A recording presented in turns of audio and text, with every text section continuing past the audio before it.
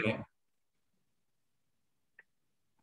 I think I have to change account. Uh, hope it I can still come back.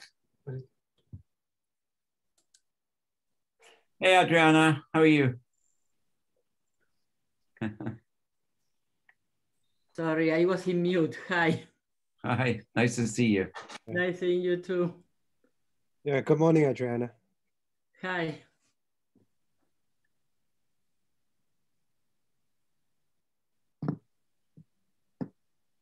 Premi enjoyed her virtual visit to Tennessee the other week. yeah. you liked it? so, but she said it was very hard work. Um, yeah, oh yeah, yeah. Well, because I gave her a really full schedule. yeah. Hey, Adriana, good to see you. Hi, how are you? good to see you. Hey, Piers, good to see you. Hey, nice to see you, Peng Cheng. Cheng, hi. Hey, yeah. Hey, hey, hey, Rick. Rick, yeah. Yeah, it's hard to tell who's speaking on Zoom sometimes. Yeah. That's why it's always good to have it in the uh, gallery mode. Yeah. Because then you can see everyone light up as they're talking. Oh. At the beginning of the pandemic, somebody said that the Zoom meetings are like you're talking to a black hole, and any face that you see is like Hawking radiation. Hawking radiation, okay. Actually, there is a mode in which um, you can put the face of the person that is speaking. So that you get that in a big uh, screen. And, yeah, that's right. yet, yet another illusion. no, the gallery mode is good. I never realized that. The gallery mode is useful. Yeah, I didn't realize it. Yeah. But you really need uh, several screens. And so you look like you're in some kind of security service looking at multiple screens talks. So um, maybe John How maybe wish. Okay, sure. So welcome everyone. Uh, this is the last section of the this iron-based superconductor seminar series. So today we'll have two exciting talks, uh, one from Piers Coleman and the other is from NGM Moreo. So we'll begin with Piers' talk and then uh, it looks like Piers already sharing the screen. And um, so please go ahead, the floor is yours. Okay, uh, welcome everyone. Thank you for coming to my talk. It's uh, it's a great pleasure. Um, I only wish I was there in person down in Texas. Um, so today I'm going to tell you about uh, work we've been doing, uh, mainly in conjunction with Yashar Komijani at University of Cincinnati and Elio Koenig, who is now uh, uh, at the Max Planck Institute in Stuttgart. And we've been exploring the concept of the Hund's metal and asking uh, can Hund's coupling play a role in iron-based superconductivity? Okay. And so the proposal that I want to introduce you to today is the concept of triplet RVB, TRVB. And uh, we're going to ask, can we extend Anderson's RVB picture and pairing to include systems with ferromagnetic and Hund's interactions? This is uh, my over-ambitious list of topics that I try and get done in 25 minutes. We'll see. It may be a bit of a joke, but interrupt me as much as you like, and we'll see how far we get. Um, so uh, great. Um, so let's move on and just remind ourselves about Anderson's RVB concept. 30 odd years ago, Anderson proposed the intriguing idea that the resonating valence bonds of a spin liquid can on doping provide the pairing for the development of unconventional superconductivity. And here's a picture of Phil at the Woodstock of physics. And uh, we have it, we can see that he was sitting right next to Georg Bednorz. Okay, and his idea, which is well known, but just to remind it, it what here's the phase diagram as it was known in 1987. Uh, and he proposed that the Mott insulator was a spin liquid of resonating valence bonds, a pre-entangled fluid of singlet spin pairs, which when on doping uh, would then become a D-wave super, well, now we know, but would become a D-wave superconductor. And of course, we now know that the Mott insulator in the real system is an antiferromagnet. Nevertheless, we still believe that uh, aspects of this picture are correct and that the mother state of the D-wave pairing can be regarded as a kind of RVB spin liquid. And so this is interesting because it's an entanglement driven pairing mechanism. the idea is that the preformed pairs formed by the magnetism on doping provide the pairing between the spins that drives the formation of a Cooper condensate on doping. Okay, so this raises the interesting question, can you extend this idea to include systems with ferromagnetic Hund's interactions? And, the, and as you'll see, in fact, Anderson actually thought about this in 1985, and I'll tell you about that in a moment. So the key idea is, can we use uh, ferromagnetic coupling to drive entanglement-driven pairing? And there's a lot of motivation for this. Let me show you uh, one example that fascinates us. This is uranium ditelluride. It's a 1.5 Kelvin superconductor in which triplet pairing, we believe, survives beyond 50 Tesla. And there's a lot of indications that the on-site forces are very important in this system. Uh, and here's another one that fascinates us. This is uh, a system we call Sergei, cerium, rhodium, germanium. And it, it's a ferromagnet, which when you squeeze it under pressure, forms a strange metal at a quantum critical point. And uh, we got interested in this whole idea because we realized we could understand this physics by proposing that this system uh, develops a kind of um, triplet RVB state due to the anisotropic uh, ferromagnetic coupling. So in an, in an uh, oh, and last but not least to our seminar today, what about the iron-based superconductors? Well, one of the things that caught our eye was this um, very nice uh, compilation of gap uh, versus TC uh, by uh, Chubukov, Kotliar, Ding, Hongding, Miao, and others, in which they noticed this interesting um, constancy of ratio between the maximum gap and TC over this wide range of chalcogenide and uh, and pnictide iron-based superconductors. And this is interesting uh, because this ratio holds uh, with a diversity of different Fermi surface morphologies from electron pockets to hole pockets. And it seems to suggest that uh, the independence of 2 delta over KTC on Fermi surface morphology suggests perhaps a local origin to the pairing. That's certainly what these authors wrote. And so this provided further stimulus for our thoughts on what we now call the triplet RVB proposal. So let me try and explain this concept to you. What is the triplet RVB concept? Let me first remind you, remind you about what happened. So, so the key idea is to get entanglement out of a spin interaction. And at first sight, this seems like a misnomer because whilst we know that antiferromagnetic interactions give an entangled singlet ground state. If we have a ferromagnetic coupling, well, it just gives us a, a spin one ground state, which is a product state. There's no entanglement there.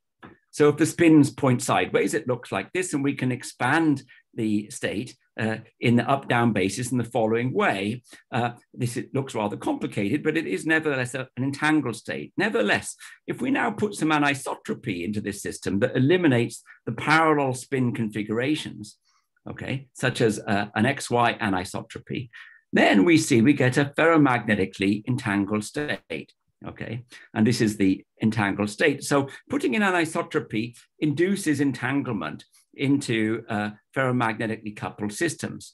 And of course, what this does is split off from the spin one manifold of triplet states, a singlet state, but it's a triplet singlet, a, a singlet which has triplet correlations in it. Okay. So uh, this is interesting, and we can take it one step further by noticing an interesting uh, connection between valence bonds, singlet valence bonds, RVBs, and triplet valence bonds. Here is a singlet valence bond, and it's the ground state of uh, uh, an antiferromagnetic interaction. But if we now carry out a spin rotation on the even sites, it's a unitary transformation, this converts an RVB to a TRVB, and it also transforms the Hamiltonian to uh, uh an easy plane XY ferromagnet. And so that's what we have here. Okay, so having done that, this teaches us an interesting lesson. Okay, in particular, one of the things we know is that short range RVB, even in three dimensions, such as is a nice example, is actually equivalent to a kind of hidden antiferromagnetism. If you take a short range RVB system and you look at its uh, spin correlations, it turns out it actually has hidden long range antiferromagnetic order. So if we take this model on a bipartite lattice and we now rotate the spins through 180 degrees at every other side, uh, we then get a system which is a triplet RVB ground state, and this describes hidden XY ferromagnetism. So the message here is that uh, we can construct TRVB states macroscopically, we can learn about them, and that we can convert an RVB state to a TRVB state by carrying out a 180 degree spin rotation on one of the sites or on the even site. So let's look at what that does to Anderson's RVB picture. So here is the decoupling of the spin interaction in terms of singlet pairs. If we now rotate the spins on one side through 180 degrees, we now have this anisotropic ferromagnetic interaction, which we can now decouple in terms of triplet pairs. There we go. And so we can now take such an interaction and imagine doping it. And uh, there is a story, which I won't get into today, about one band systems. And you can play exactly the same game that was played in the early days of RVB on a TJ model with an anisotropic uh, ferromagnetic coupling. And you can show that this leads on doping to a P wave, or in fact, a fully gapped PX plus IPY state and the simplest system. Okay. But that's not the topic of our talk today. We are going to talk about Hund's metals. So let's now talk about how this might work in uh, Hund systems. And it's there here that the connection with Phil's old ideas, we lost Phil last year, but we're still mulling through some of his great ideas. And one of the great ideas he had back in 1985, in the days of early heavy electron superconductivity, was to use the Hund's coupling as a driver for triplet pairing. And Anderson originally uh, immediately saw there was a problem because when you have an atom with a center of symmetry at the atom, even if you have triplet pairs forming inside that atom, they basically have even parity character. And you can see that because when you apply the parity operator to individual orbitals, what you get here is the product of their parities, which is plus. And so this is a, an even parity paired state. And the Cooper pairs on the Fermi surface um, have p equals minus one, they're odd parity. And so atomic triplet pairs cannot migrate to the Fermi surface as long as a parity is a good quantum number, which is what we want to do. We don't want to do inversion uh, systems that don't have inversion symmetry. However, if you move the center of inversion away from an atom and consider, for example, two atoms with a shared center of symmetry, now uh, you can contemplate two kinds of pairing state, one with an it's even under inversion, and one that's odd with a staggered gap symmetry. And this interesting state has p equals minus one. It doesn't break translation symmetry because you've got two atoms or an even number of atoms per unit cell, okay? And a staggered gap with p equals minus one will mix with triplet pairs on the Fermi surface, allowing the escape of atomic triplets, driving a Cooper instability. And that was the essence of this paper here, which has only really been picked up by a small minority of people. It only has 14 citations today, and three of them are from our own papers. Um, uh, uh, these were early uh, authors who realized the interest in this paper, particularly an interesting paper by Mike Norman in 1994, which really wasn't pursued further except by Hotta and Ueda. We're now going to pursue that further, in part noticing that many interesting superconductors, such as iron-based superconductors, uranium ditelluride, and perhaps twisted double bilayer graphene fall into this category as potential triplet candidates. Okay, so let's look at that in more detail in the context of an iron tetrahedron. Iron tetrahedron, uh, the electrons live in the T2G states, the XY, XZ, and ZX orbitals. And uh, we're going to think about the orbitals as sites. Okay, and so this indicates a triplet, uh, a triplet state formed between an XY and a YZ orbital. And if we're doing it with electrons, it's obviously odd parities anti-symmetric between the orbitals, hence the coloring. And so now, um, if we take that state, uh, we can stabilize it by putting in a tetrahedral anisotropy. And if you add in all possible cyclic permutations, uh, you've still got the tetrahedral symmetry, but it now stabilizes some interesting states. Let's look at what actually happens here. Okay, we can create a, a, a local pair by combining spin and orbital degrees of freedom. Okay, and this operator here is the is the angular momentum operator. It's minus i epsilon ABC. So this is one of nine possible pairs you can create on site with L equals one and S equals one. Okay. And so now we can think of the interaction as looking basically like this with this anisotropic interaction going on here. And uh, so now let's look at what that does. So if we put in some spin orbit coupling, our manifold is split into states of L equals uh, J equals two, one, and zero. And the Hund's coupling, of course, stabilizes the high spin configurations. Okay. If we now put in the anisotropy, what happens is that this splits up. It's a crystal field effect, if you like. And so, in the strong coupling limit of an isolated tetrahedron, we can expect these interesting TRVB states to be stabilized. And in terms of this variable uh, uh, uh, lambda, which, uh, uh, which determines the combination of pairs, uh, the states of particular interest, the ones where this is diagonal with a 1, 1, minus 2. Think of this as a crystal field state with L equals L equals 1, S equals 1, and J equals 2, split by the crystal field environment. Okay. So what happens if these pairs manage to escape into their environment? Okay. And so that's the, the question we, we tried to ask. And so we're going to take two iron tetrahedra and bring them close together. And we're going to ask what will now happen. And it's here that the non-symmorphic aspect of the physics becomes very important because the hopping between the sites, particularly the hopping between the XY and the YZ orbitals, has an interesting property uh, that uh, this hopping T7 has an opposite sign for hopping to the left and hopping to the right. So let's look at what happens if we take such a triplet valence bond, apply the T7 hopping, it now brings the valence bond state between two sites, okay, two YZ orbitals, and then it rotates it round again. And you'll notice that as a result of this rolling operation, the, the uh, pair on site one has changed its sign onto site two. So that were this to become coherent, the gap would actually have opposite signs on the two iron atoms, okay? Um, and in fact, uh, uh, the, these hoppings look like this in a simple model of the iron-based superconductors. And so this kind of model would predict a staggered pairing exactly as Anderson envisaged. Um, and so we can then put together the idea of taking these individual triplet valence bonds and now exponentiating it to form a triplet RVB state bringing in a Gutzwiller projection that prevents no more than one electron per uh, T2G orbital. Okay, so that's the proposed wave function. And what we're going to talk about now is what happens when we treat the Gutzwiller constraint here with a mean field theory, which means we basically uh, factorize these localized Hund's interactions in this particular form. Okay, so let's now look at that and see what it leads to, a mean field theory of the TRVB pairing state. Okay, so that's, that's what we started with. And now let's write down the Hamiltonian. Okay, it contains a kinetic part and an interaction part. This kinetic part, what we're going to do is take the Daghofer uh, uh, three-band Hamiltonian. It's not perfect uh, because of some of the topological obstructions present in the iron-based superconductors.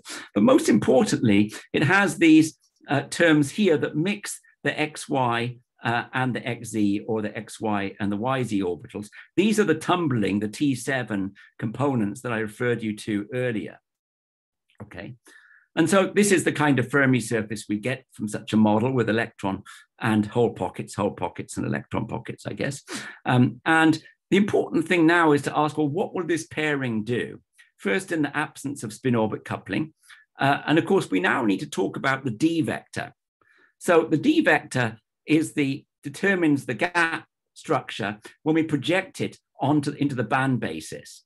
And uh, so what happens in this model, it turns out if you project this kind of interaction into the band basis, then you discover that the D vector actually has this interesting form in which these are the eigenvalues of the Daghofer uh, Hamiltonian. And what's interesting is since the system is non-symmorphic, UNK is complex due to these tumbling modes.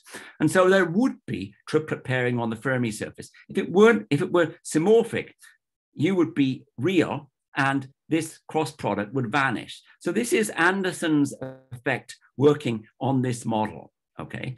So now let's look at what this predicts for the D vector.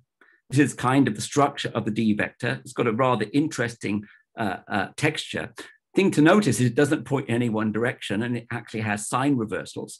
Um, uh, if you now look at the gap function of this, without Without spin orbit coupling, in fact, the gap is actually vanishes at certain points. But the moment we turn on spin orbit coupling, we find the gap, it becomes a fully gapped superconductor.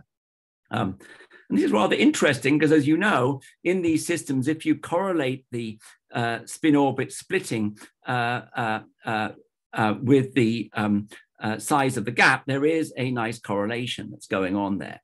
So that's rather interesting. And uh, uh, let me look, show you a bit more. This is what the gap looks like on the various electron and hole pockets. So it's a good, respectable gap. Um, and so the question is, well, that's an interesting uh, little model you've got there, but is there any hope that you could test these ideas with experiment? And what about experiments that have already been done? So let's uh, end up by looking at the phenomenolo phenomenology of TRVB. Uh, and uh, so let's look at that. So just to summarize, this superconducting order parameter in the orbital basis in real space actually has this staggered quality that I've shown here, okay, to satisfy Anderson's theorem. Uh, but it also has an interesting structure of its d vectors in real space. Um, and without spin orbit coupling, it looks like this. Of course, with spin orbit coupling, you convert spin into orbital degrees of freedom. And so you have singlet components mixing in. Okay. And so one of the things that has ruled out p-wave pairing in this field up to the moment has been the Knight shift. And here you can see the Knight shift, for example, uh, for a chalcogenide and a pnictide.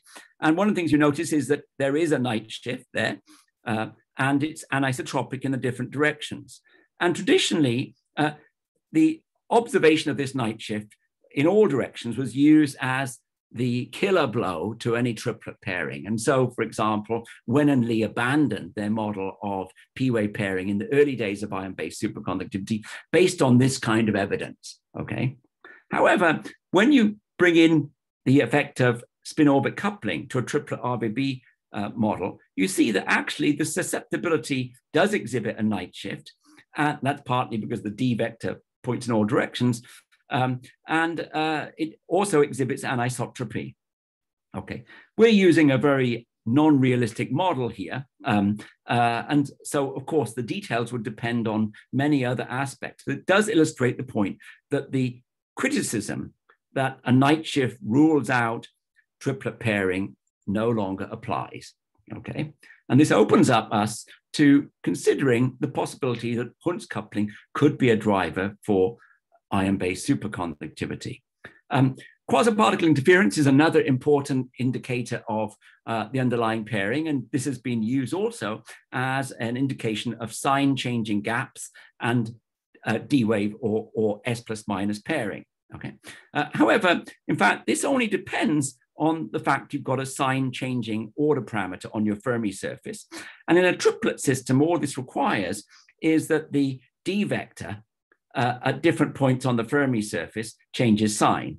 And that's really what we have in our little model of TRVB. What replaces this term here is the dot product of the D vectors on the Fermi surface. And so this hurdle can also be dealt with, okay?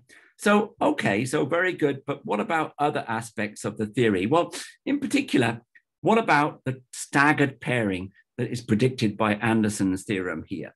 How could we detect that? So um, one of the ways to detect it, in principle, is to have a real state space probe or pairing. And this would apply to any Hund's driven superconductor, such as uranium ditelluride. You'd need to be able to probe the local gap sign, okay? And you can't do that with conventional tunneling, okay? But you could do it if you could do Josephson tunneling using an STM tip, okay? This would be the Hamiltonian for such Josephson tunneling. Here is the coupling between the local phases. And here is the Coulomb term. And one of the really important things about this uh, uh, is that you've got to minimize the Coulomb coupling. The other thing is that you'd want to maximize the coupling between the tip and the material. So one of the best ways of doing that would be to have an iron-based uh, superconducting tip in such an experiment. However, the experiment would probably still likely not work uh, although in principle it would look like this, unless you've got your Coulomb, your, your charging energy under control. And uh, uh, so here's our proposal for how you could actually do this. You'd have a fixed tip and you have a mobile tip. And to minimize the charging energy, you'd maximize the capacitance using a shunt capacitor. Um, so this requires for Josephson tunneling, the E squared over C tip is smaller than the Josephson coupling. And this is never realized in current STM work. However, to avoid this, ST, this dilemma, we'd add in a shunt uh, capacitance. This would then switch on the Josephson tunneling and would provide an interesting tool if it worked for local probes of uh, superconductivity uh, in a variety of systems. For example, if you were interested in a pair density wave, you might want to be able to probe things this way. But for TRVB, it would be the acid test of the theory. You'd expect to see a staggered superconducting phase as you scanned your Josephson tip over the thing. And so the critical current would actually alternate as a function of position. Okay, and uh, so uh, here is a little calculation using a little model of what you might expect. Okay, um, so I'm done. My conclusions are the concept of RVB can be extended to uh, triplet spin pairs in anisotropic ferromagnetic systems. And in some sense, the on-site triplet RVB is really what we've known in heavy electron systems uh, as a Hund's coupled atom. Those singlets that you see in a non-Kramers atom can be thought of as resonating RVBs, triplet RVBs, resonating between the sites, between the orbitals inside the atom, okay? And so if you've got a system with two atoms per unit cell, then you can have a TRVB state. And in the case of our model for iron-based superconductors, it predicts a fully gap pair state driven by Hund's coupling.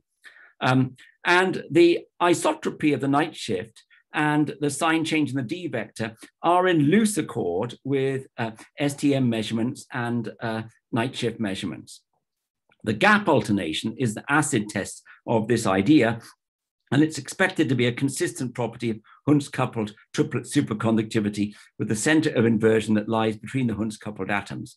Iron-based superconductors, uranium ditelluride, uh, twisted bilayer graphene, and other systems uh, may be candidates for this kind of pairing. And we hope that it will be possible in the future for experimentalists to uh, uh generate, to, to to create scanning Josephson microscopes, which might be able to detect uh, this staggered pairing that originally uh, goes back to Anderson's proposal of 1985. Thank you very much. Thank you, Piers, for this very interesting talk. So uh, any question for Piers? Okay, so I see a question from uh, Adriana. Yeah, uh, Piers, yeah. very interesting talk.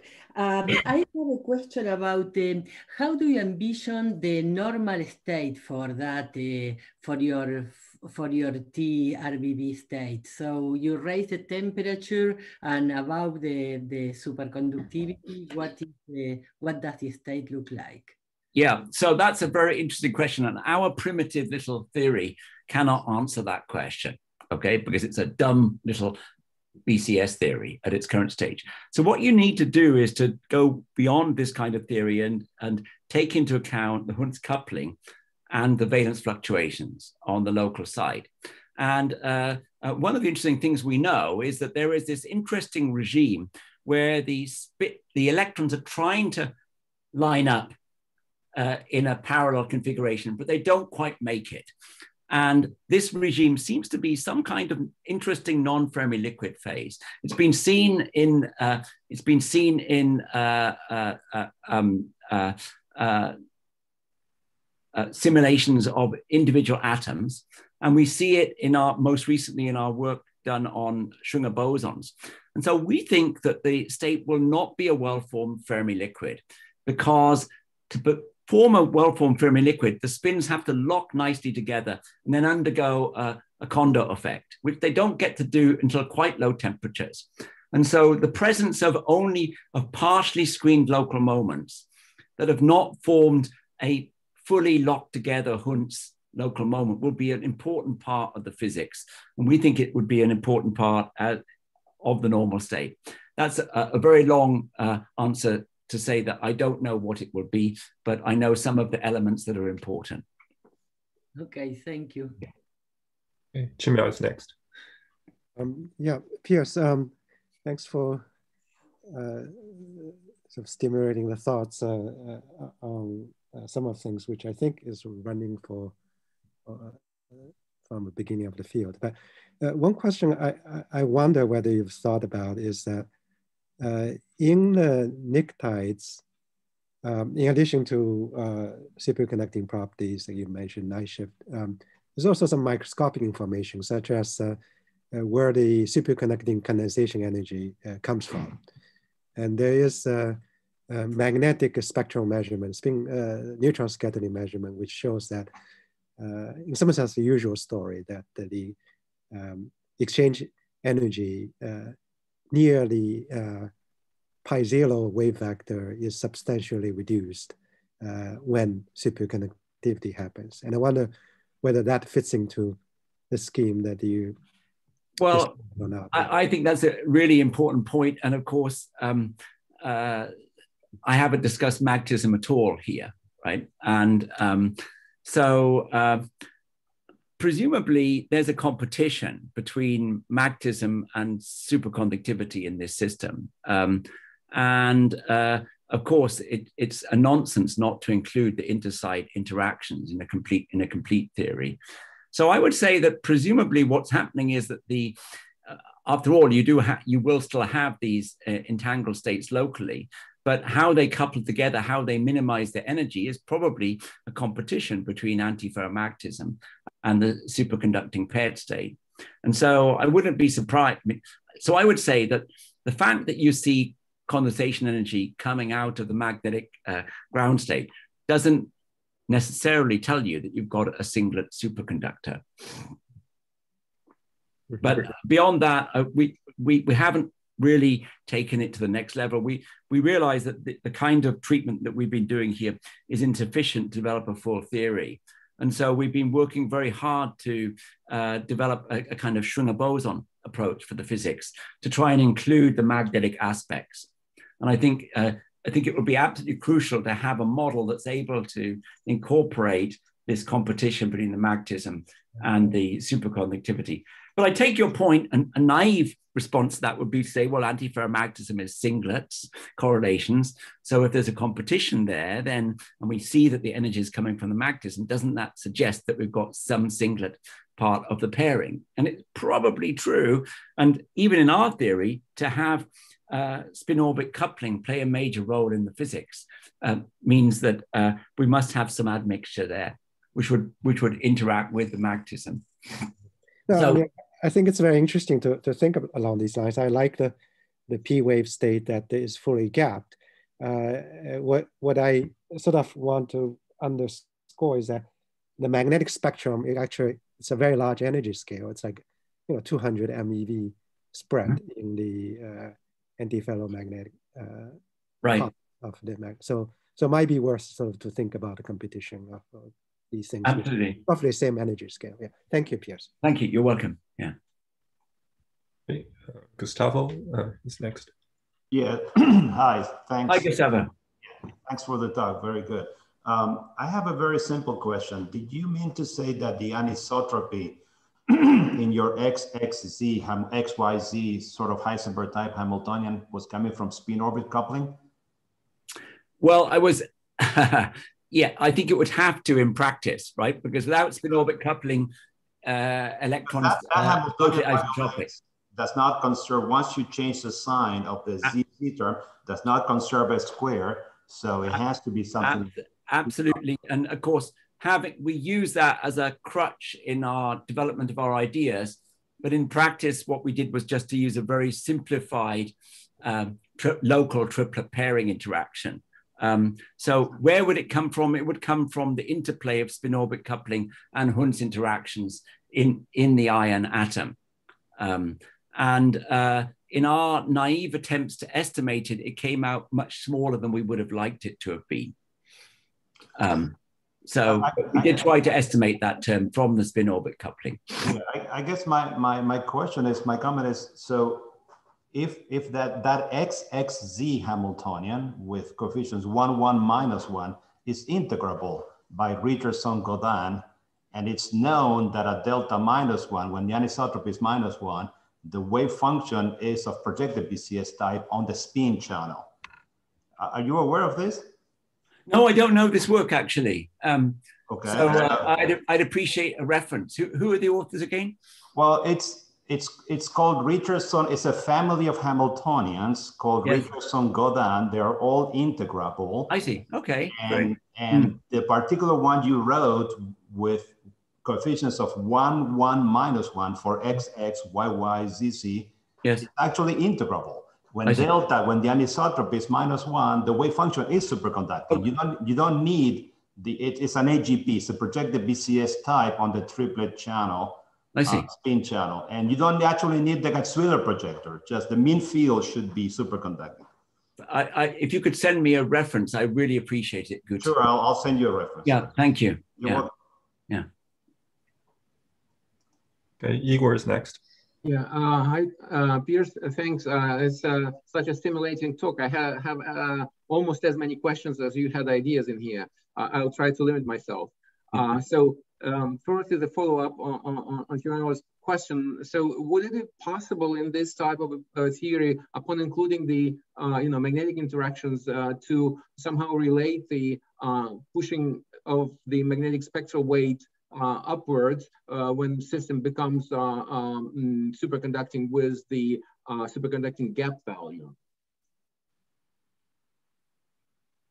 once again, so when you know, becomes, I, I, I, I, I, think when you're, you're saying, could one do that, first of all, without a detailed theory, just by using some kind of sum rules? Is that what you're saying? No, no, no, that's not the question. No, what I'm saying is that I sort of know that at least in the 1-1 family of superconductors, what's happening with the low energy magnetic fluctuations is just that the spectral weight is not lost, not gained, it's actually pushed up uh, above some small gap value of like five millivolts. Mm. Um, and so uh, the, the, the, the, low energy part of the magnetic fluctuation spectrum is sort of wiped out uh, in favor of basic, basically just being pushed up. Actually, similar thing happens in cuprates as well. Presumably, presumably what you're saying is that if you had a little model, say an RPA type model for the magnetic fluctuations, and you right. now replaced your electrons propagators by a gapped electron, you could understand that. Yeah, you could, right? And yes, so you, uh, but it, but it, of course the question would be whether it's whether the anti-ferromagnetism is hurting you or helping you. I suppose would be. Um, uh, uh, I mean, you could just plug it in, but then you'd also have to. There would be a competition between having formed that gap and the magnetism that you've depleted. I suppose. Um, Right, but experimentally that could be, I'm, I'm just, I was just saying that experimentally that could be somehow compared with theory. If okay, you have a, a, good point. That would be true any, any gap theory. I presume it's been done with S plus minus type theories. Yeah, it has. Yes. I mean, yeah, this is, this is well known, right? Yeah. Yeah, yeah, sure. Yeah. But, but it suggests singlet though, that I mean has no uh, relevance to the, to the triplet.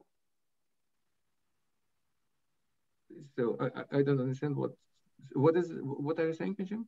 Yeah, no, I'm basically saying that I mean the spectral wave shift. I mean from low energy to higher energy part. I mean that's understood RPA, right? Based on RPA theory, well, basically uh, exciton, you know, sort of type of model. But, but, it, that's but connected with a singlet, right? Not not a. No, no, no. I think I think that would work with any model that's fully gapped. Right. Yeah. yeah. And so if, if this model has particular predictions for that, that would be uh, one thing to check. But uh, the other question I had is uh, uh this nice picture with uh, red and blue zigzags. Uh, so it, it is sort of reminiscent of a competing instability that um, happens in the 1-1 iron telluride family, which is not yet superconducting, but which forms this type of orbital ordering. Is there any relation with this model? I don't know is the answer to that question. Um, we haven't thought about orbital ordering, but, but clearly orbital ordering, magnetism are, since you've got orbital degrees of freedom and spin degrees of freedom that want to be sat, want to be satisfied, are always going to be competitors with a with a ground state that is used in entangling the spins to form a condensate. So um, uh, the orbital aspects of the physics we all know are really important in the iron-based superconductors. So it's got to be part of the story. But that's again not answering your question, I'm afraid. Sorry. Oh, okay. So uh, let me just, uh, the final small question is the, the, the, part of the story about the non-symmorphic symmetry between the two uh, um, uh, atoms in the unit cell, is does it relate in any way to Igor Mazin's recent uh, theory of anti-Kramers, anti-ferromagnets? I don't know because I don't know. Uh, I'll have to read. I've got a lot of reading to do, clearly. Okay. Um, I, will I'll have a look at that. That sounds fascinating. Um, yeah. Yeah. Another question from Zujin. Uh, hi, Piers. This is TC. Hi, uh, thanks for the nice talk. I just have a, very naive question. So, in the in Anderson's proposal, uh, the spin singlet formation uh, RVB can turns into uh, superconductivity by condensation of the holons. Uh, I'm just wondering, do we have a similar effect in in the triplet case? I yes, we do. Um, uh, although we, we are still struggling to put together a, a kind of slave boson description of the model that we're fully satisfied with. Um, I think I, I think it's exactly the same idea because the point is that the we we inter, we we interpret the uh, the TRVB state already as a preformed pair state. So the bond variables between the orbitals provide the pairing and then the moment you turn on the valence fluctuations, you condense the bosons, you then get a superconductor. So at that level, it's exactly analogous. I see. So I assume if the slave particle description can still apply here, then we can integrate out the fermions to obtain perhaps a nonlinear sigma model describing different orders. Because, uh, yeah, because I, I know that's happened for the singlet case. I'm not sure. Actually, I'm not even familiar with the work on the singlet case for the nonlinear sigma model that's going on there. Um, uh, in fact, part of our problem is that we are still struggling as a community to understand the underlying normal state of the cuprates and how that connects up to the superconductor, which we know is a D-wave superconductor, of course. Um, uh, so, yeah, I, I guess I'm I'm not familiar with the with the uh, Sigma model methods that you're referring to, um, so I can't answer your question. I'd, I'd, like a reference actually. If you could send me, I'd be very interested. Yeah. I see. Okay. Thank yeah. you. Yeah, I'm actually a great fan of your book. okay, thank it's, you. It's, it's, a pity I cannot see you in person and ask for your signature. a dedicated website for paid. Uh, for, for, never mind. Anyway, yeah, we'll good. Re uh, we'll remedy that. Piers, you just have to visit. Yeah, it does have to come down. okay, good. Thank you. Uh, can I actually ask a, a, quick experimental question? Yes. So it sounds like the spin orbit coupling uh, plays a very important role uh, in yes. your model. So now, since now we have so many families of iron-based superconductor with various degrees of spin orbit coupling, I mean, with a very systematic study of, um, you know, of these, you know, for example, like Knight shift um, um, as a function of a strength of spin orbit coupling. great. Yeah. I mean, that would be very interesting. Uh, yeah, I mean, in our naive theory, the, the system becomes gapless in the limit that the spin orbit coupling disappears. Um, uh, because it, underneath it is a kind of triplet state, is would be the point. Um, so, uh, so you're doing those measurements at the moment. You're saying? Uh, not yet, but uh, I mean, if that could actually help to distinguish. Uh, yeah, I, I, uh, I think it, the role of spin orbit coupling has been completely understated in these systems. It's big. It's considerably bigger than TC. Mm-hmm. Uh, it's two or three times bigger than TC, so or, or, or more, in fact. So it must play a major role. What what precisely that is, we're not quite sure. Yeah. Great. Yeah, it's very interesting. Okay, if no more questions, and let's uh, thank Piers again, and then um, Piers, if you can I'll yeah, share your screen. Let me just uh, get my act together. Yeah, that's the one. And so stop the share. There we are. Uh, so the next talk will be given by Adriana. And uh, Adriana, you can share your screen now. Uh, yeah, I'm, I'm trying. um,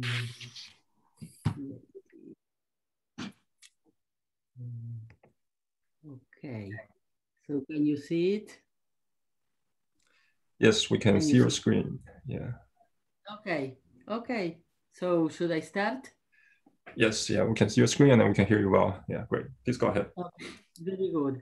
Okay, so um, I want to uh, thank um, um, Qimiao and Pengcheng and all the organizers for giving me the opportunity to uh, talk to you today.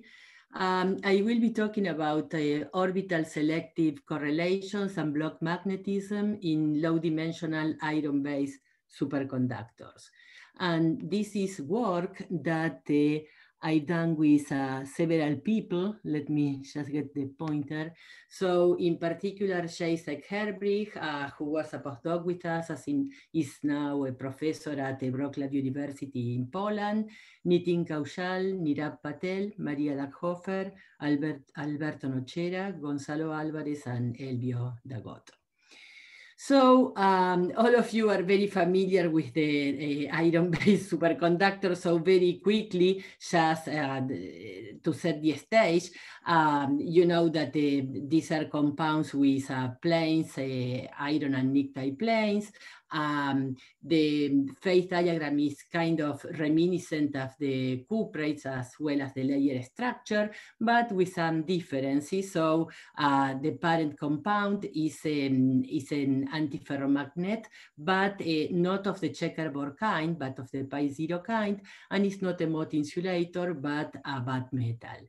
Uh, upon doping, the material develops superconductivity, again reminiscent of the cuprates, but the Fermi surface is uh, very different. So it's a much more complex Fermi surface with different bands contributing to hole pockets at the center of the Brillouin zone, electron pockets uh, at the boundaries. Um, the in the cuprates, there is mostly one orbital, one of the d orbitals that contribute to the band, while um, in the pnictides, the five d orbitals are important, and in particular, the T2G orbitals. Um, so this is very important, a very important difference. Um, since there is pi-zero nesting between hole and electron pockets in the pnictides, early on people thought that uh, the pnictides could be just a weak coupling uh, problem, okay? So the nesting would lead to this uh, magnetic order and that would be it. But almost from the beginning, and actually uh, Qimiao and other people at Rice uh, started from this point of view, uh, the strong coupling point of view also led to the similar, to, to, to this magnetic pattern based on the fact that uh, the, in order to hop the electron from iron to iron, they had to go through the, through the pnictide. So uh, the overlaps are basically equivalent going from nearest neighbors to across the diagonal, and that leads to a J, J1, J2 model that also has this uh, kind of ground state. Um, and eventually, um, through um, additional experiments, um, it is believed now that uh, the coupling is just in between, okay, some intermediate coupling. Uh, it's clear that it's not weak coupling because disorder is observed in materials that do not have, for example, the hole pockets, so there is no nesting, and also because there are uh, large mass renormalizations uh, that are observed uh, um, experimentally. Um, so uh, it is very important uh, to consider intermediate values of the interactions. In addition to the pnictides, you know that there are the chalcogenide families, okay? So uh, based on this situation, the simplest model to study the pnictides would be multi-orbital Hubbard models, okay? So in the multi-orbital Hubbard model will have a tight binding part and ideally, we should consider five orbitals, but um, this is very difficult. So usually we would work with three orbitals and sometimes two. Uh, two is the minimum number of orbitals that can be considered. Um, this um, term is obtained from the B. Slater-Koster, from the geometry of the lattice and the geometry of the orbitals and uh, the bandwidth that sets the energy scale is determined either from uh, angular resolved photoemission experiments or from DFT. In addition, there, are, uh, there is the interaction. So the interaction arises from the matrix elements of the 1 over r Coulomb, um, Coulomb repulsion, and this was obtained many years ago by Kanamori. And the most important terms are the Hubbard um, U that suppresses W occupancy uh, in the same site, and the Hund coupling that uh, Piers uh, um, uh, emphasized uh, just uh, in the previous talk, that favors the ferromagnetic alignment of the spins in the same site at different orbitals. And what I want to show you is how the um, competition between U and J uh, impacts the phase diagram of the, of the iron-based materials. Um, so the main question is how can we study this uh, uh, relatively simple but very difficult uh, Hamiltonian? So the real way, only way to study it accurately is using Lanczos methods, but uh, we only can access small clusters. Um, in addition, there is the powerful uh, density matrix renormalization group approach uh, that uh, allows to go to much larger systems, but uh, it really works in 1D or quasi 1D geometries. So the question is whether we uh, can justify um, studying this Hamiltonian in these quasi 1D geometries. And the answer is yes, because uh, there are uh, families of iron-based ladders. This barium iron sulfur, for example, is a material where you can see here the ladders of, uh, of iron. And this material um, becomes superconductor with a TC of 24 Kelvin um, under 10 gigapascals of pressure. Okay, at ambient pressure, it is an insulator. It is an insulator with pi zero magnetic order in the ladder. And here you see how from insulator goes to superconductor as the pressure is increased. Um, in addition, if we replace sulfur by selenium, we get barium iron selenide. And this is a material that also becomes superconductor under pressure.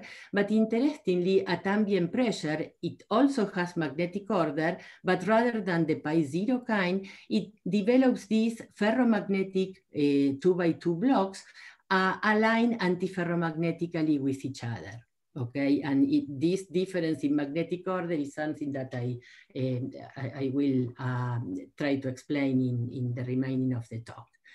Um, in addition, there are many more uh, materials with the same ladder structure and similar properties, okay? So let's see it, we should study ladders, okay? But to study ladders with two orbitals is, or with three orbitals is still very complex because there are a lot of degrees of freedom. So the question is, um, maybe we can uh, work in 1D with chains, multi-orbital chains. Uh, notice that studying two orbitals in a chain is as hard as studying single orbital in a ladder. And the idea is uh, we are going to work in chains and also in ladders, and we are going to compare the results because if we find a good agreement, that will allow us to do more work in in chains where we can go to larger systems, okay?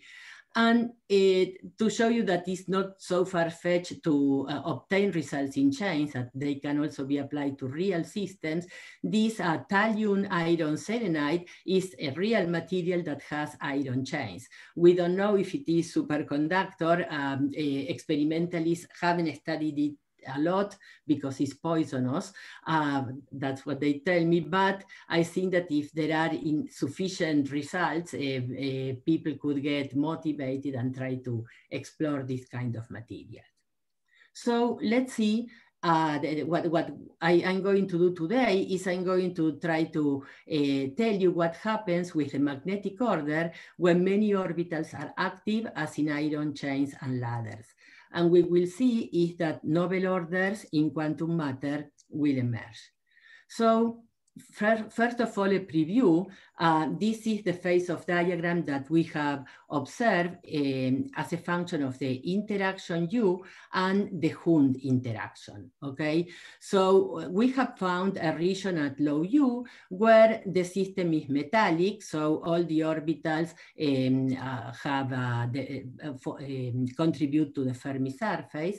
Then at large U, there is the Mott insulator regime for all the orbitals, but we have found a region at intermediate U and relatively large uh, Hund coupling where we have the so-called orbital selective Mott phase in which uh, one of the orbitals um, becomes a Mott insulator and the other ones remain metallic. And this is the phase in which I'm going to focus. Uh, so um, what do we get uh, experimentally? Uh, so we know that um, eh, in uh, barium iron selenide, the material I mentioned today with the iron ladders, um, experimentalists have observed this um, um, block state, okay, with ferromagnetic blocks aligned antiferromagnetically. This was done in 2015, um, but Back in 2014, our group actually studied a three orbital model in a chain, okay? This, um, this is the dispersion of the three orbitals. We made it so that it resembles the pnictides with hole pockets at the center of the Brillouin zone and electron pockets here. At Shea Hund uh, equal uh, U um, um, equal U over four, uh, we studied the doping of each of the three orbitals as a function of U, the filling of the three orbitals. So all the orbitals are metallic at low U, but as U increases, you see that the green orbital becomes half filled, okay? While the other two orbitals become metallic. So we think that maybe this is the situation in which we go from here to there, in which one of the orbitals become a Mott insulator. We actually calculated the density of state for this case, and we find uh, the, the gap for the green orbital and just the pseudo gap for the two orbitals that remain metallic, as you can see, with a, a 1.5 filling more or less. In addition, we look at the magnetic properties of this state, and this is what we found. These are the spin, uh, spin correlations. And you see that the, there are um, ne nearest neighbors are ferromagnetic, but then this uh, two, size two block is aligned antiferromagnetically with the next block. Okay, so in a cartoon picture, the localized spins actually develop this kind of order. This is the 1D version of what we see here. So the question is, could it be that the block state observed in barium iron selenide is actually an orbital selective Mott phase? Okay, so this is a conjecture. So uh, we continue trying to explore this uh, model, uh, these multi-orbital models in, in one dimension okay?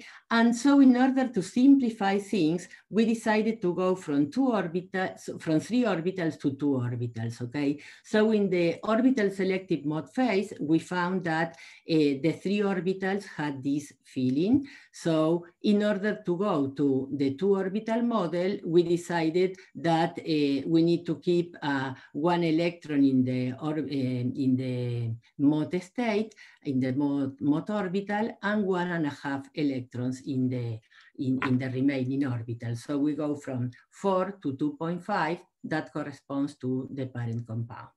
So we studied this model uh, going from um, uh, two electrons, okay, where the effective um, spin is one. Uh, this is the, the static magnetic structure factor. So in this case, we have antiferromagnetic order, okay, with the peak at pi and this structure. Then we start adding electrons and you see that the peak starts moving away from pi and we start developing um, uh, anti, patterns that are uh, ordered but not uh, exactly antiferromagnetic. When we go to 2.5, here the peak is at pi over 2, and we develop the block structure I just described. We continue to dope more to, point, 2.66, and we start seeing blocks of size three. We dope even more, and we see blocks of size uh, four, okay, with a peak here. And eventually we go to the point in which we have three electrons. So we have effective spin one half and the order becomes again antiferromagnetic. This happens also, this is basically the, the localized spins are the ones that form these structures.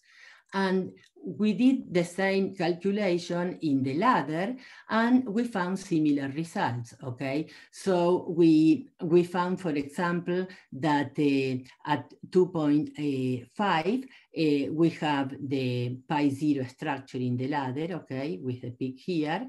And then this is the Q parallel to the, to the leg of the ladder, okay?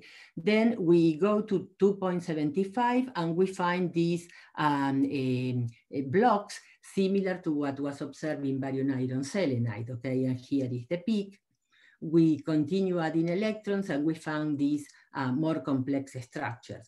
So what you see is that the competition between uh, the U that produces antiferromagnetism and J-Hund that produces uh, ferromagnetism leads to these uh, complex magnetic structures. Uh, okay, sorry. Uh, here you see that the, the lines correspond to the two orbital model, but you see this dot that corresponds to results for a Kondo model. Okay, the same here. The Kondo model is an effective model that uh, we created in order to be able to obtain even more results, okay? We know that the charge uh, degree of freedom is frozen in the localized orbital, so we can introduce localized spins um, and that leads to this effective Hamiltonian where this term corresponds to the uh, itinerant uh, orbital. T00 is still the, the hopping in the, in the original two orbital model uh, hopping for, for the itinerant orbital. Then we have the same Coulomb U. Then this is a Heisenberg term that is a ratio between the hopping in the localized orbital and the U. And then we have this Kondo coupling between the localized spin and the itinerant, uh, the, the, spin of the itinerant electrons, which is uh, two times the Hund coupling in the original model. Uh, so this was the uh, doping of the parent compound in the two orbital model. Um, when we go to the Kondo model, we see that this is the localized spin, and so the um, itinerant orbital has to have a doping of 1.5, a, a filling of 1.5. And because of the particle hole symmetry in the Kondo model, this should be also a, a, a similar result to the one that we obtained for a, a filling of 0.5 for the itinerant orbital. So in order to see that this reproduces very well the two orbital model in the orbital selective Mott phase, uh, we calculated the um, A of k omega for the two orbital model. This is at low U over W where this model doesn't work, okay? So here you can see that the two orbitals are metallic, uh, the, this is the density of states, the two orbitals contribute at, uh, at the Fermi surface. But this is the two orbital model at U over W equal to one, so now we are in the orbital selective Mott phase, so you see one of the orbitals became um, localized and we have is a Mott insulator with the the two bands up and down, and the other orbital is metallic, and you can see here the corresponding density of states. And this is the equivalent result with the Kondo model. So you see that the dispersion of the itinerant um, orbital is very well reproduced. And here, okay, so this, this was for the paramagnetic case. This is the block magnetic. And here we compare the two orbital uh, model and the Kondo Heisenberg. This is the same as this, the density of states. You see that they are, the agreement is excellent, okay? So we have used this model to do a lot of our calculations because obviously it's simpler. So um, uh, we, using the generalized Kondo model, uh, we studied again the phase diagram.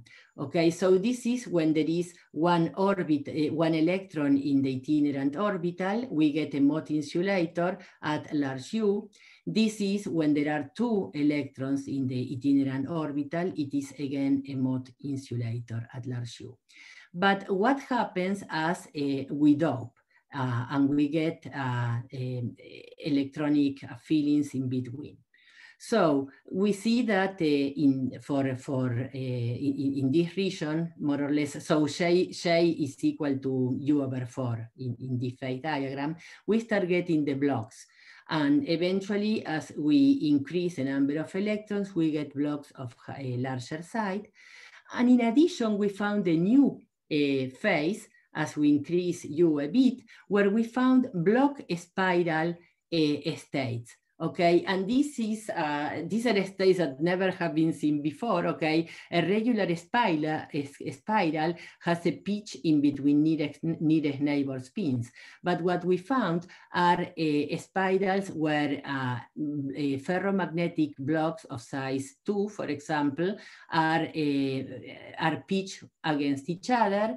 And eventually, as we continue adding uh, electrons, we get blocks of size three, etc. Okay, so this is a novel um, a, spiral state that is obtained without uh, Dzyaloshinskii-Moriya terms or without frustration. Okay, so basically there is a hidden frustration uh, that develops um, dynamically in the multi-orbital um, uh, the model. And this again comes from the competition between the U and the Hund coupling okay? So this, again, is a new phase that uh, hasn't been found experimentally yet.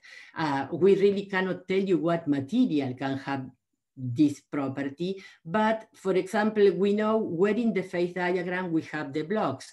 If you find a material like barium iron selenide that has uh, blocks, you know that uh, uh, maybe by doping, it, it, it could be possible to achieve this region. Maybe the doping can be done via pressure. Uh, so some slight changes may allow experimentalists to venture into this region. Um, so this block spiral region also has, it's interesting to see the dispersion. Okay, this was the, the regular block, what I showed before. Okay, this is with the two orbital model, this is with the Kondo. Uh, when we go to the block spiral, you see that rather than having one single quasi-particle, we get two quasi-particles, okay? And this is similar to what is obtained uh, in some models with um, a, a, spin uh, orbit coupling, by the way. But here, these two um, uh, quasi-particle peaks correspond to the two possible chiralities of the spiral state. And you see that the same occurs in the generalized Kondo model, okay? So the, the two can be used to study this problem. So let's, uh, I don't know how, yeah, I think I, I, I have uh, sufficient time. Uh, so, um, um, so let's say what experiments tell us about um, about the, the properties of these uh, block phases. Okay, so again, in barium iron uh, selenide, um, experimentalists using neutrons have studied the dispersion of uh, the spins uh, the, the, uh, of, of S of Q omega, okay? And what they found is that there is an acoustic mode with a dispersion of, uh, with a bandwidth of, of about 50 milli electron volts. And they found also three optical modes um, of um, um, two at about 100 uh, millielectron volts and one at 200. Uh, these uh, experiments were done in barium iron selenide where we had the blocks of size two in the ladders, okay? So using um, DMRG, uh, we studied the three orbital model. So in the phase uh, where we have this uh, block structure, we calculated S of Q omega using the DMRG. This notice that is a very difficult endeavor because for each value of omega, we had to run a whole DMRG calculation. But this is the result that we obtained. So we found an acoustic mode uh, you see that the, the bandwidth is uh, about 50 MeV as in the experiment. Uh, interestingly, we found that the maximum is at Q pi over 2 uh, rather than at pi as it is for a regular antiferromagnet.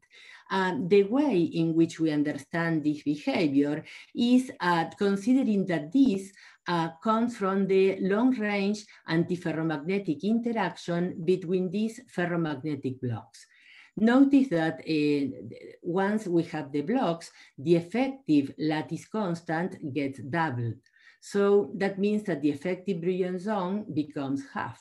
So it is reasonable to see the maximum being at pi over two. And then we have this dispersion. And uh, then we also observe an optical mode at about 100 MeV. And this has very little dispersion. And we think that uh, it is due to uh, on-site uh, excitation. So when one spin in the block is uh, flipped, uh, this, uh, there is an energy of the order of the Hund coupling, okay, and produces this mode. Um, so uh, we continue studying S of Q omega in other regions of the phase diagram, okay? So uh, now these are results with a two orbital model rather than three.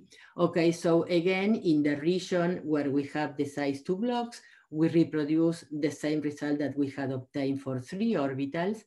And uh, when we go to the region with uh, size three blocks, uh, we find uh, this very interesting behavior that uh, uh, it, it, basically confirms uh, what we saw that the acoustic branch came from the long range antiferromagnetic interaction of the blocks because now the lattice size has been tripled and so the Brillouin zone becomes one third and the maximum in the dispersion is here at one third of the Brillouin zone okay? And we still have the optical uh, branch.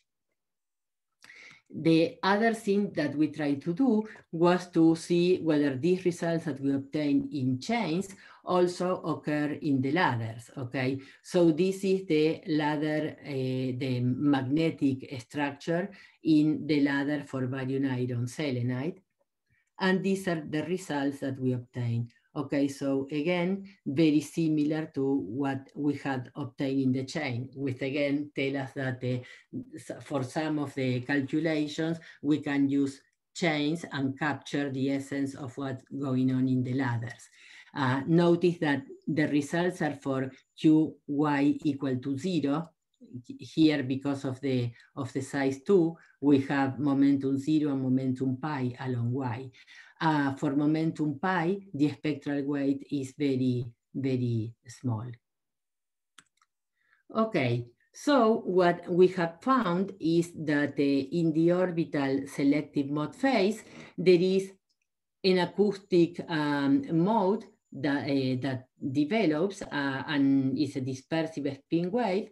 Um, and it develops from the antiferromagnetic correlation among ferromagnetic uh, blocks. Here you see results for size four blocks, okay, following the trend. Uh, the spin wave bandwidth establishes a new energy scale that is strongly dependent on the size of the magnetic island. So, and you see that as the size of the island increases, the amplitude of the, of the um, dispersion goes down. And finally, we have the optical modes. Okay, you can see them in all cases. Uh, it's a dispersionless spin excitation and um, are present for all block states that we studied. And as I said, we believe that come from the spin flips. We also studied it as a function of the Hund coupling. And we noticed that as the Hund coupling increases, the position of this um, uh, mode moves up, okay, increasing with the Hund coupling. Okay, so let me uh, summarize. Uh, um, so we have, um, it, it, it, from these studies, we have a message to experimentalists uh, telling them that studying materials with uh, electrons in the 3D 4D and 5D uh, orbitals uh, with chain or ladder structures is something interesting because you can compare experimental results with theory. Uh, for the crystal grower then, uh, it is important to search for appropriate candidates uh, that may be able to realize the block states. Um, and for neutron scatterers, um, it would be important to see whether they can confirm the exotic dynamical magnetic properties that have been unveiled by this work. In particular, it would be very interesting to see whether they can find the, the uh, spiral block states. So the magnetic blocks are usually caused by dimerization or frustration terms added to the Hamiltonian. But here in this work, we see that they arise uh, not from extra terms, but from uh, non-trivial electronic correlations that develop in the orbital selective Mott phase. And as I said, the, the, it's due to the competition between the effects of the Coulomb repulsion U and the Hund coupling. Uh, so uh, the orbital selective Mott phase and magnetic block uh, states develop uh, in Hubbard models if many orbitals are active. Okay, so that would be the take home message. Thank you. Thank you, Adriana, for the for this great talk. Any questions? So Qimiao has a question. Please go ahead. Qimiao, you're muted. Thanks, Joe. I think Piers is ahead, was ahead of me. Oh, uh, Piers, yeah, then Piers, go ahead. Uh, I don't know. Um, a beautiful talk. Thank you, Adriana. Um, I had uh, two short questions. First, um, I may have missed it, but is there anisotropy in your model, or do you really have power law spin correlations? It, yeah, well, yeah, these are spin, yeah, these are power laws. Yeah. Okay. Yeah. Okay. Um, and uh, so, uh, so okay. So, um, are you able to? Uh, first, a technical question. Uh, did you think about the alternative of using matrix product states and just time evolving them? Would that have been cheaper than your uh, DMRG calculations for each frequency? Um, well, okay, we so those are uh, techniques that we are trying to develop now. So we are actually uh, actually some of our new projects are to develop our, uh, other methods to measure S of U omega. But right. right now, the the main the thing that we know really how to use is the, yeah. Okay, sure. Yeah, and and last question: Can can you measure pair correlations? With your yeah. method? After all, it does yeah. become superconducting. This yes, definitely we can, and we had done that. I, I didn't have time to talk about both things, but yes. uh, yeah, another interesting result that uh, that happens in in these models is that there is a tendency towards pairing at intermediate values of U. It's very interesting to notice that, uh, so we have measured the binding energy uh, to mm. begin and the, measuring the, the, the, binding energy, we found that the, there is binding not at large or small u, but at intermediate values. And regarding the singlet and the triplet state, which I think that would interest you, mm-hmm. uh, we have, a, I think that we have been finding a singlets, but it, th there may be regions where the triplets are competitive. Okay, so mm -hmm. that's something that also we, we need to continue exploring. Okay, thanks very much. Great.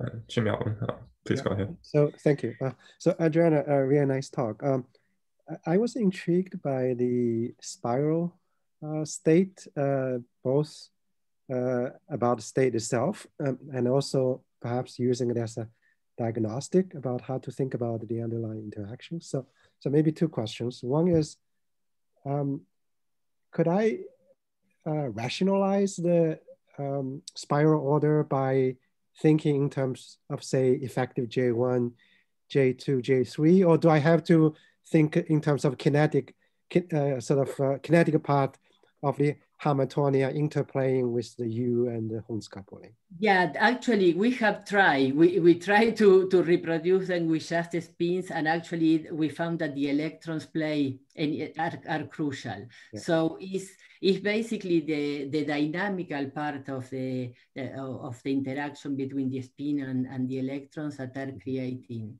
yeah. creating that. So it, Mm-hmm. It's basically that the tendency towards antiferromagnetism caused by the U and the tendency towards ferromagnetism caused by the Hund coupling uh, is creating some kind of actual frustration mm-hmm. that, that gives rise to all that.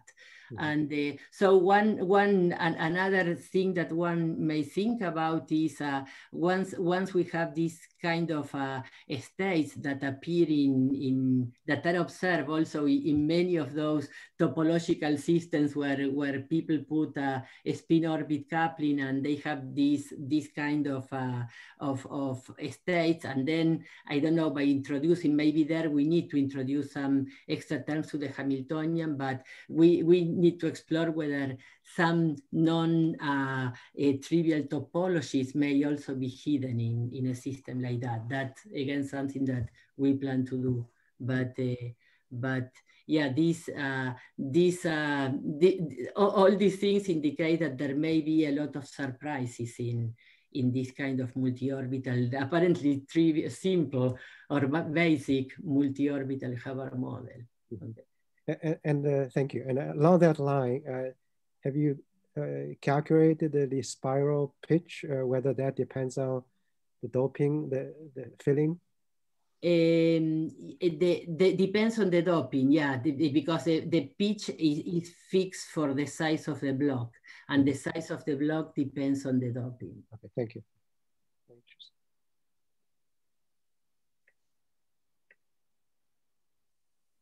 Any more questions for Adriana?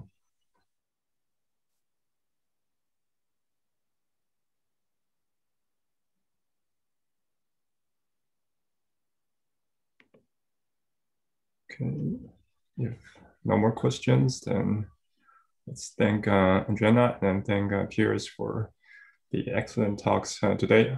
So I think this is the end of the uh, iron-based superconductor seminar series. So thank you everyone for participating. And then, thank you, thank you, Jeff. Uh, Indeed. Hopefully we'll see you in person in the future. Thanks for running the series. It was great. Thank you. Yeah. Thank you. Thank you. Bye. Bye. Bye, everyone. Hope to see you all in person sometime. Have a good summer. Yeah. yeah. it's about time. Yeah.